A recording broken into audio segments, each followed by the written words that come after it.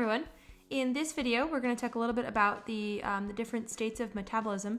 So the two states of metabolism that we mentioned previously are the absorptive state and the post-absorptive state. And so we'll start with the absorptive state and, uh, and we'll talk a little bit about what happens to all the different organic nutrients during this time, talk about the hormones that, that have some control over the events, and then we'll move on and do the same um, sort of mirror the process for the post post-absorptive state. All right, so we'll start with the absorptive state, and the absorptive state is alternatively called the fed state. Um, and this makes sense because it's actually the time during and shortly after eating when nutrients enter the blood from the GI tract. So we know that as soon as food enters the, the, the GI tract, um, and, and technically, I mean, we start secreting enzymes, you know, before there's even um, contact with food, but, but as soon as there's food, you know, in the stomach and in the small intestine, you know, many, many hormones and enzymes are being secreted in order to ensure that, that everything is being broken down. And so, just as a reminder, um, uh, and we'll sort of uh, work our way through the different um, the different organic molecules, but we can start with carbohydrates. Just as a reminder, the um, the carbohydrates have to be broken down to monosaccharide level in order to be absorbed into the intestinal mucosa um, and then be transferred ultimately to capillaries. And so, um, so um, another this is uh, way back, but uh, the monosaccharides that are available are obviously glucose, but also fructose and galactose are considered monosaccharides. So, um, glucose, fructose, and galactose can all be absorbed uh, through the intestinal mucosa. And then um, also remember that they're going to be transported from the, um, as soon as they enter the capillaries, uh, you know, from the intestinal mucosa, they're going to travel via the hepatic portal system directly to the liver for processing. So, um, so th- those actions are, are inevitable. And um, what we're going to mention here is basically what happens next. So, um, in the liver, galactose and fructose will be converted to glucose. And um, once they're converted to glucose, the, the glucose can then be released in, back into the bloodstream for circulation throughout the body. Um, or if there's uh, plenty of glucose and there isn't any need, then it can be converted to glycogen and stored for later. The additional glucose, so we know that um, that, that uh, as far as what's coming from the small intestine, um, from the intestinal tract, usually generally the small intestine though is what is where this is going to happen. Um, the there's uh, all the glu- the the glucose is um, is going to be picked up by the liver as well, right? It's following the same pathway. Um, but the liver, so the liver may decide to keep that glucose and then, you know, again convert to glycogen or, or use it to make energy. Um, or that glucose may just sort of pass through the liver and travel elsewhere in the body. So a couple of different options for the glucose, but the things that are non-glucose have to be converted to glucose right away. All right, next we're going to talk about um, triglycerides. And so the triglycerides, remember, um, initially they're not going to be triglycerides. So um, if we sort of trace the pathway from, from what happens uh, initially, so when um, lipids appear in the GI tract and particularly in the in the small intestine, bile is going to be released and it's um, going to emulsify the lipid droplets and, and make them into very tiny lipid droplets, and then ultimately they'll be um, they'll be surrounded and they get reformed into these things called chylomicrons, which um, which are necessary in order to um, be absorbed into the um, absorbed through the the structures of the small intestine into the lymphatic vessels. So we know they get absorbed into lacteals, and then ultimately we still want to be able to access those lipids. Um, and so when they uh, get back dumped back into regular circulation, um, they have to pass through capillaries, and so the capillaries are going to um, secrete this um, enzyme called lipoprotein lipase. And so basically, it breaks down chylomicrons to release fatty acids and glycerol. And so once we have the fatty acids and glycerol, they can um, the, they can travel easily in the capillaries, and um, they can they can become a, a, a primary source of energy.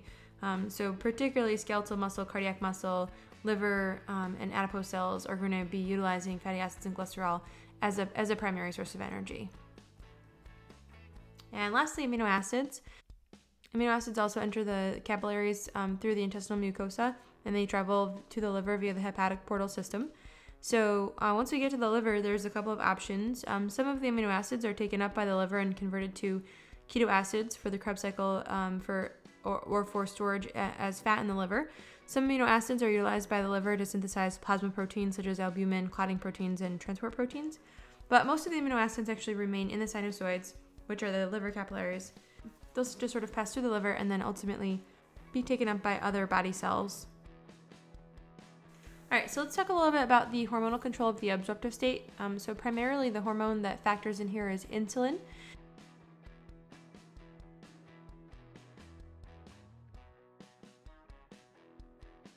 So insulin has uh, a multitude of functions.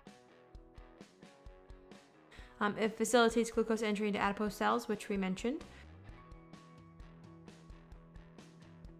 Insulin um, stimulates fatty acid synthesis when uh, liver glycogen is high.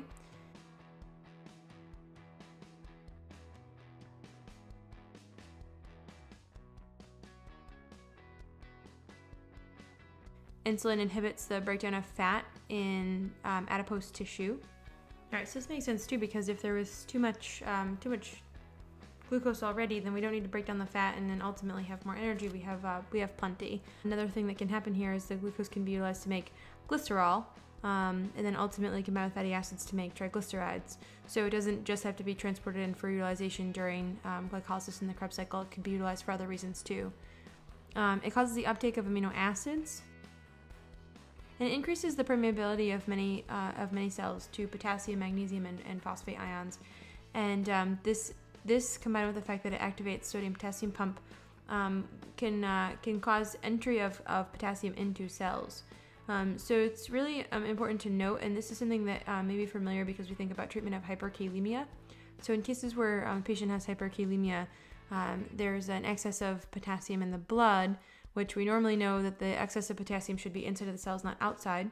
Insulin administration is part of the cascade of, uh, of, of medications that are given for patients who are hyperkalemic, and so um, it's actually going to acutely suppress plasma potassium, and that um, that makes sense because because um, we know that it can increase the perme- permeability of the cell, and uh, pota- and potassium can enter into the cells. All right, so now let's move on and talk about the post-absorptive state. So the post-absorptive state is basically the fasting state. So it's a period when the GI tract is empty. So it's been, you know, I don't know, maybe four hours, five hours, six hours since the last meal. Um, so body reserves are actually broken down to supply energy.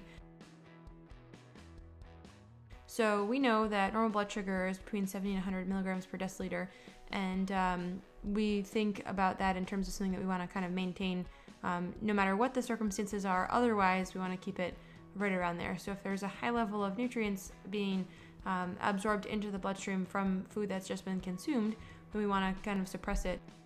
If on the other hand there's uh, there's a, a, deficiency because it's been a while since the last meal, we can just um, break down what we already have to work with. So the things that we'll do, um, one, we'll perform glycogenolysis, so that means breakdown of glycogen from the liver. Number two, glycogenolysis from skeletal muscle. So it's actually easier and more accessible to, um, to get the glycogen from the liver than it is the skeletal muscle. But once we use up the, the liver glycogen, um, or you know we're using it, we're also going to start using the glycogen from the skeletal muscle. And so um, it's actually um, interesting because it's uh, the glycogen is going to be released as pyruvic acid, travel to the liver, and then be converted to glucose. Three, lipolysis. Um, so this will generally occur in the adipose um, tissue in the liver, um, and we're actually gonna um, we're gonna make glycerol from uh, the breakdown. So think triglycerides are gonna break down into fatty acids and glycerol, and so then we'll have uh, a release of glycerol. Um, it'll travel to the liver, and then um, it'll be utilized for gluconeogenesis. So gluconeogenesis, remember, is synthesis of new glucose from non-carbohydrate precursors. So something that is not glucose or fructose or um, anything similar to that in terms of um, being carbohydrate um, can can uh, be utilized for gluconeogenesis and, and made into glucose. And then number four, we can have breakdown of cell proteins. So um, amino acids will be deaminated and converted to glucose in the liver. Now, these specific functions, I just want to mention um, glycogenolysis, gluconeogenesis, and um, you know amino acid deamination. Those things. We're gonna um, discuss those uh, in a separate video when we talk about the specific metabolism of the different organic molecules. So, um, so if you're looking for more information about those, just know that it's coming in a different video.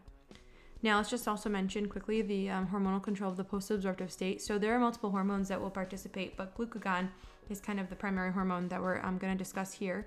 So, in response to a decrease in blood glucose level, there's a couple things that are going to happen. One, we're going to get um, suppression of insulin release, which means that we're going to inhibit insulin induced uh, cell activities. And then, two, the alpha pancreatic cells, which we know produce glucagon, will secrete the glucagon into the bloodstream and allow it to travel to its target tissues, so namely the liver, where um, the hepatocytes will perform gluco, uh, glycogenolysis and gluconeogenesis, and then also to the adipose tissue, where the adipose cells will perform lipolysis and then um, produce, as a result, fatty acids and glycerol, which ultimately can uh, can be released into the bloodstream. Some other hormones that uh, participate along with glucagon are epinephrine, growth hormone, thyroxine, cortisol, and testosterone.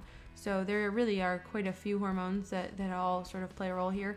But um, but like I said, the one I want to focus on is, is glucagon, just because um, it's it sort of opposes insulin, and um, and it's definitely um, important to, to mention to, to properly prepare us uh, us for the uh, discussion on the different types of organic molecule metabolism. All right, so that concludes our discussion on the absorptive and post-absorptive states. And uh, coming up will be um, independent discussions on the different types of um, organic molecule metabolism. So thanks for watching.